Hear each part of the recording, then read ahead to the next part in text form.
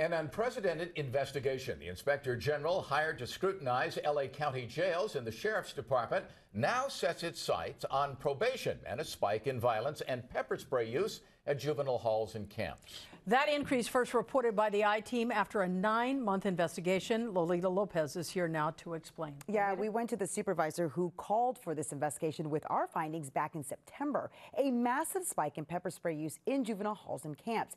The deep dive into the probation department will look into incidents, including a time where one person was allegedly not allowed to decontaminate after being sprayed.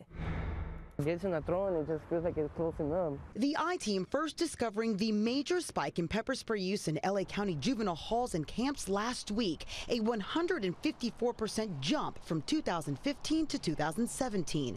We talked to two young men who say they were sprayed while in juvie, one at least 10 times.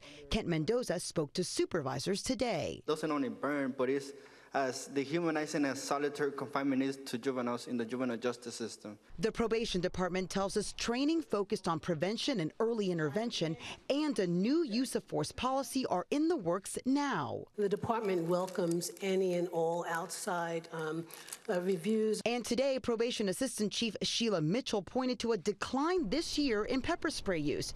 But supervisor Janice Hahn clarifies. In 2018, we saw a 20% decrease From the, in number- from the time it tripled. Yes, that's So correct. That's a little misleading. The county's probation department has been under scrutiny before. Under several years of federal monitoring, pepper spray use decreased. The I team found the increase in pepper spray use followed the end to federal oversight of what was happening behind juvie walls. You should have oversight to the to the minutes because it's children that you're dealing with. This ex probation officer echoes the sentiments of the union representing probation officers. They say training is needed to deal with fights and aggressive behavior.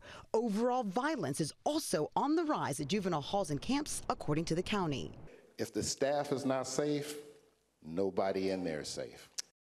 And at that meeting, we heard for the first time that officers who are abusing their pepper spray use more than others are actually getting training first. But part of what is troubling is that we really don't know how and when officers are deploying pepper spray and what happens when someone steps over the line. We're working on getting that information. The inspector general guys will report back to the supervisors early next year. They have 45 days to do this review and then come back to the supervisors with what they found. It'll be interesting to see what they found. Exactly. Thanks, Lloyd. I Appreciate that.